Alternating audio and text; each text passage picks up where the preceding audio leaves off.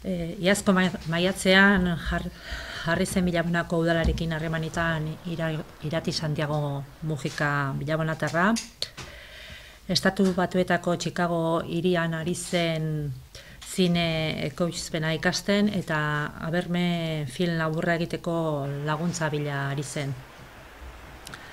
Lau hilabete geroago, irailean, e, Euskal Herrira etorri zen berriro irati, e, oraingo estatu batuetatik e, talde batekin, eta aiztondo eskualdeko hiru bilabonan asteazun eta alkizan filmatu zuten pelikulako material guztia. Deno konbidatu nahi zaituztet, e, igande honetan ekainak amaika zazpieter ditan gurea zinema etortzera.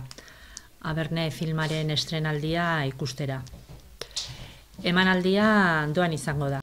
E, alde batetik emakumea, bestaldetik euskera eta bestaldetik pelota, ez? E, pelotari inguruko filma da, emakume baten bizitzari buruzkoa.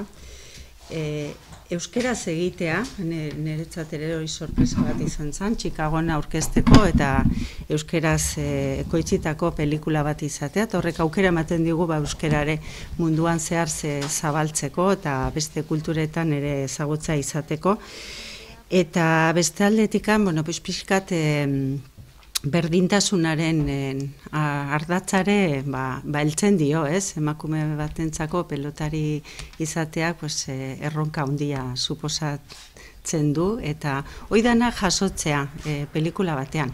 Film honek e, egiten duen erakarpena oso handia, gure oso gure sustraietan dagoen historia batelako eta eta behar bada ez dugulako gehiagiera usnartu e, ba, bueno, ba, hori gizonen mundua dela, oso gizonena, eta, eta, eta badela garaia ere hortaz hausnarketa bat egiteko. Esperientzia bezala oso erakargarri egin zitzaidan, pentsatu ostra, talde Amerikar bat ator, berez ez dutenak pelota horren beste ezagutzen, irati da hemen gidaria hortan, eta zuzendaria bera ere Amerikarri izatea gainera hizkuntzaren traba hor, baina, baina bueno, oso talde profesionalea aurkitu nuen, hemen... Eh, Eta berak esan duen modu egia da talde oso handia etorri zan, baina oso modu profesionalean lan egitera eta eta produkzio lana oso finkatua, bueno, gozamena izan zen alde horretatik.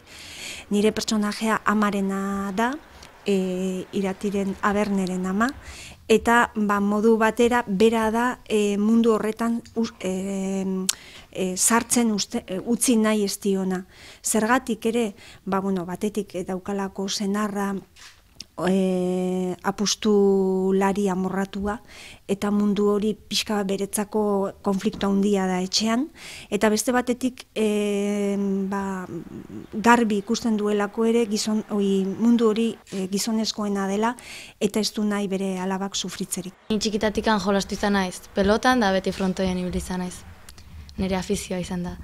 Ta ordun deitu ziaten egun baten, erosketak iten eola, Dituzian inak lizasok eta esantian. Bira, iratik daka asmoa produzitzeko film labur bat, eta irutu zait nola zuk antzerkin, antzerkin ibiltzen zean da palare bai itezun, ba, zuzeala pertsona egokina, nik ustet. Orduan eman zian iratin kontaktua eta iratikin hitzeten hasi nintzen. Orduan, Iagortan eksan du bezala, nola irati Ameriketan zeon nik bai Skype bat inun iratikin, eta bertan kastin moduko bat. Inu. Ni bai ibil naizela antzerkin, baina beti ibil naiz estenariotan, inoiz naiz jarri kamera baten aurren orduan. Netzako zen lehenengo aldia eta enekin nola reakzionatuko nu, no, nola moldatuko nintzen egoera hortan. Eta egia esan,